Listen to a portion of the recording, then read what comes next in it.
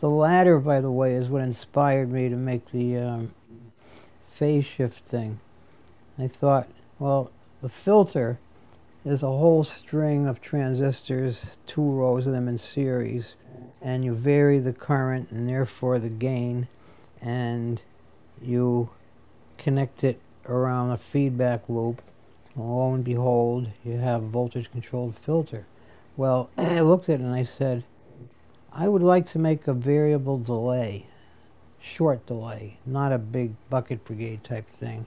So I looked at that ladder filter and I said, gee, if you change the configuration of the transistors so that, picture two of them at the top of the row, collector going to the supply, bases, in this case I made a change. I crisscross wired the base of one to the collector of another all the way down this ladder. I tried it from 2 to 20 stages.